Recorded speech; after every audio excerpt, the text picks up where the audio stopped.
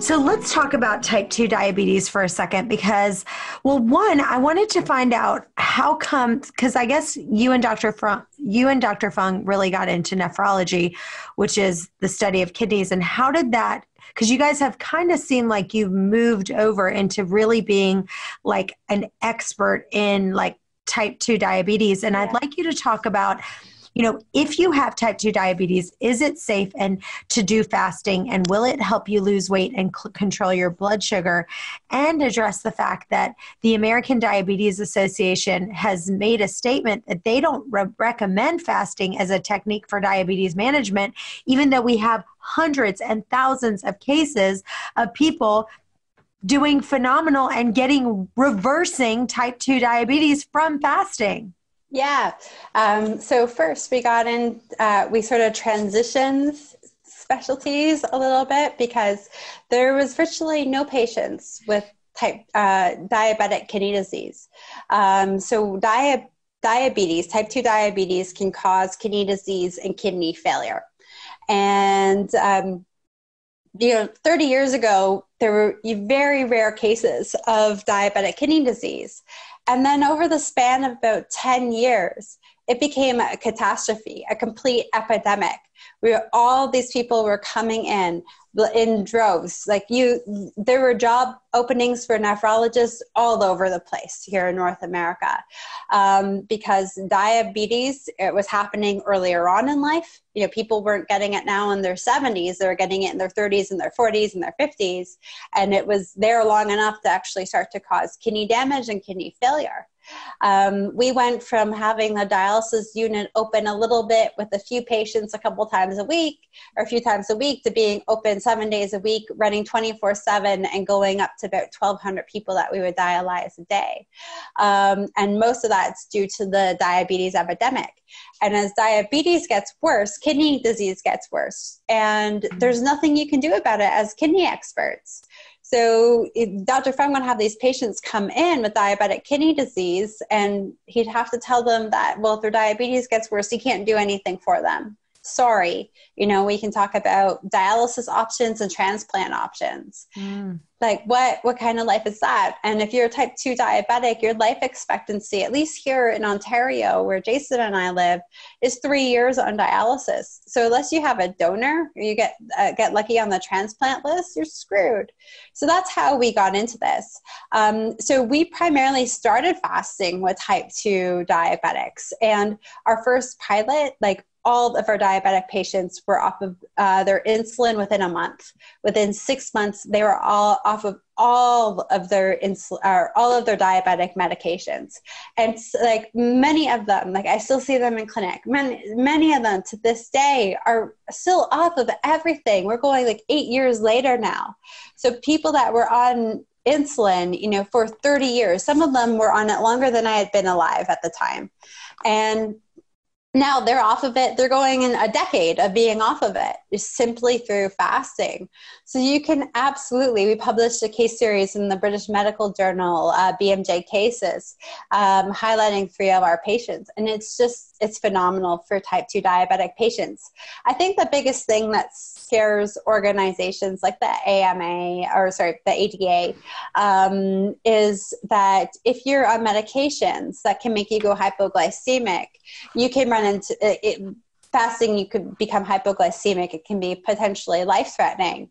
So if you're not um, adjusting insulin or medications like sulfonylureas, um, uh, and you don't have a doctor who's doing that while you fast, you, you do put yourself at risk. So we always recommend to people that you work with a doctor or will recommend a doctor in their area that will support them through uh, through fasting so they can have their medications adjusted appropriately. So that's for the more sick diabetic patients. There are other medications that don't run the risk of hypoglycemia, so they're really not. Um, not that problematic. And so that's one medical concern I think they have. And then there's all of the political stuff and the business stuff, right? Like, who are the biggest sponsors of the ADA? Um, well, you know pharma plays a large role in sponsoring these organizations and you know if we're taking everybody off of medication well how does that affect pharma's bottom line So there's a lot of political stuff. I was working with the dean of a very important medical school, like one of the top 20 medical schools in the entire world. And uh, they were doing phenomenal. And I talked to them and I said, you like, let's bring this. Like, you know, let me teach about it. Let me give a lecture about it. We, year one, year two, year three, whatever. Um, but like, let's talk about it. Like, I was so excited for her to get these amazing results. And then she said to me, you know, Megan, I can't. Like, I can't have you come to my school. Like, mm. our, our new oncology, our new endocrinology building was just paid by X company that produces this, you know, massively consumed diabetic medication. She's like, politically, I just can't have you there. Sorry. Wow. Um, so like it's like there's there's a lot of lot of nonsense too mm. there are some genuine concerns for people's well-being but there's some nonsense as well I'd love for you guys to go to our Facebook group, the Intermittent Fasting and OMAD group. We're doing a sleep contest. We want to see how your sleep is doing. And if you've been out having fun and it's time to get your health routine back, then sleep is a really, really big part of it. And so we're going to do a little bit of a sleep contest. Go if you've got like an Oura ring or something like that, you can post how much you're sleeping, but sleep is so key. It's the one thing that I feel like I've got so dialed in.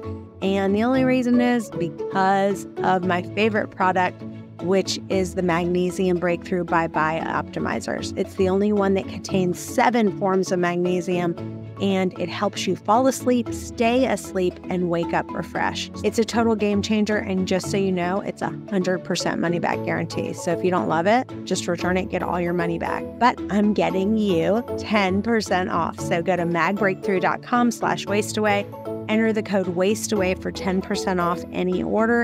And this special offer is only available at magbreakthrough.com slash waistaway. Don't forget to put waistaway for 10% off. So, talk a little bit about you personally. Um, like, how long have you been doing intermittent fasting? What type of eating window do you prefer? And talk to us about your extended fasting. What's the longest amount of time that you've gone, and any tips that have kind of helped you through it? Yeah, absolutely. Um, so I've uh, I reverse all my conditions doing three fasting days a week. I committed to myself to do three fasting days a week, ranging from 24 to 42 hours, depending on social life and how I was feeling that day. If I wasn't feeling well, then I would only pressure myself to do 24 hours. Um, and if I had a social thing, I wouldn't exclude myself because and I would do 24 hours. Um, but eventually 24 hours doesn't even feel like a fast uh, when you do it so consistently. So 42 is more of my mainstay. And then that last little bit of body fat was a real big pain to lose. So I did a series of three day and five day fast over the course of a month just to shake it off and get rid of it once and for all. Um, so that's what I did. Um, currently, my fasting, I, I do an eight or 16 to 18 hour fast daily. Um, every now and then, uh, I'll do a longer fast um, to change things up. Um, I often, a few times a week, end up doing 24 or 36 because I end up getting pretty busy.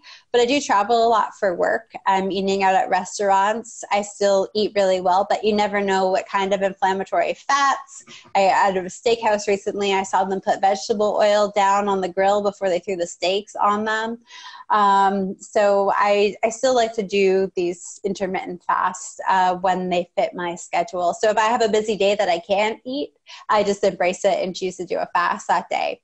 Um, four times a year, I think of it as seasonal cleaning. I'll do a five to seven day fast. So like after the December holidays, we roll into like true winter in January. I'll, I'll do a seven day fast as winter cleaning and I'll repeat that in the spring, in the summer, and the fall. So it's usually somewhere between five to seven days. I always aim for seven. Sometimes work travel gets in the way a little bit, uh, and it ends up being five. The longest fast I've personally ever done has been 11 days. Um, the biggest lesson I learned from it is that sodium intake is more critical at the start of the fast. A lot of people think at the start of the fast they're going to be okay and they need to worry about sodium later on. where it's the first few days of the fast where you see the most dramatic drop in insulin. And when you see that dramatic drop in insulin, you lose a lot of water and you'll lose a lot of sodium as a result. Whereas, you know, day four, day five, day six, and so on and so forth into the fast, you don't see that huge crash in insulin and you're not going to the bathroom all of the time. So you're really not at risk of accidentally depleting yourself of sodium. So uh, that immediately, uh, that was a, a first lesson I learned from that extended fast is okay, you need to make sure you're topping up with salt, whether it's salt in water, salt on my tongue, or I'm having sugar free pickle juice or uh, bone broth. But I'm really embracing that the first three days of the fast. The longest water fast, that's a water and salt fast, that's been done in clinic, um, was 40 days. Um, we had one person do a modified uh, fast to a certain extent for oh no no actually our longest one is now 60 61 days um, she did consume broth once a week um, but otherwise it was water and salt for the rest of it. And then the second longest was 40 we've had a bunch of people do 21 and 28 day fast too over the years so, if you've been enjoying the show, please give us a review on Apple Podcast or whatever platform you're listening to. Take a screenshot of it and email it to questions at chantelrayway.com. The first 15 people who do that will get an amazing free gift. You will get an exclusive interview of the thin eaters and what they do to stay thin and make sure they stay in trim top shape. Go to Apple Podcasts, take a snapshot of it, email it to questions at chantelrayway.com, and I'll send you your gift. And if you don't feel like making the review and you want to pay $79 to get this video, it is well worth it. Just go to chantelrayway.com and download it and buy it. Awesome. So, with the salt and the sodium, what do you suggest? Like, let's say someone says, Look, I'm feeling dehydrated. I'm starting to feel weak. I'm doing a longer fast. What does that look like for them? So, like, are you taking like a pink Himalayan sea salt, putting it under your tongue? Are you putting some salt in their water? What do you think is the easiest way for them to get that sodium in? Yeah, I mean, their bone broth is a, a can be a romantic process to make it. Um, sugar free pickle juice can sometimes be a quick and dirty way to get some salt into your system. But I hear in Canada, we're spoiled. It's everywhere here. Apparently, um, to our friends uh, south of the border in the US, it's very not very common. I hear. So that's not necessarily the easiest route. Um, so, you know, less than 20% of the population is actually salt sensitive. Um, but you need to make sure that you're not in that, you know, 18% of the population that is salt sensitive. So make sure you check check it out or you listen to your body. I always think it's better to start off slowly with salt. So, like a quick and dirty way to get salt into your system is just to sprinkle about a quarter of a teaspoon on your tongue and chase it with water. That tends to be the most effective. You could also mix it in with water. That sometimes makes people feel nauseous. They actually get less nauseous just putting it on their tongue and then chasing it with water. Um, and then taking a quarter of a teaspoon, you know, three or four times throughout the day and test whether you get a lot of swelling, whether your blood pressure goes up. Um, if you don't, then chances are is you're probably not too sensitive, but of course, always check with your doctor. Um, we if we have a patient in our clinic who is not salt sensitive, um, you know, we sort of recommend them taking, you know, one to two teaspoons total worth of salt through the day, but definitely not all at once. There's lots of negative effects of taking that much sodium, uh, lots of diarrhea, heart palpitations, uh, feeling uh, com- completely fatigued. So we'll usually have people take a quarter of a teaspoon throughout the day. Most people find that every few hours they need a quarter of a teaspoon um, to help them.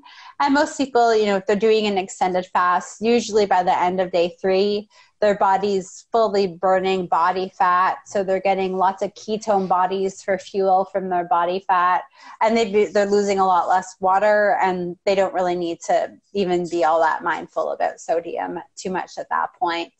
Um, so, so salt on your tongue tends to be the most effective way. In the United States, you can actually get Himalayan salt capsules. So a lot of the doctors that I work mm. with in the US, mm. they'll just keep them in their pocket because it's just really easy just to take a couple and then chase it with some water and it's less gross and there's no nausea that way um, so that is a preferred method for oh, a lot of the doctors that. i've worked with Awesome. Well, thank you so much. You are so much fun to talk to. I always love talking to you. Tell listeners where they can find you and where they can follow your work. Yeah, absolutely. So you can check us out at thefastingmethod.com. All of our social links are up there too on Instagram and Twitter. You can find me at Megan J Ramos for my personal personal profiles as well. And we have a Facebook group called the Obesity Code Network with Dr. Jason Fung and Megan Ramos. Awesome. And everyone else, stay tuned because we have another amazing uh, episode coming right up.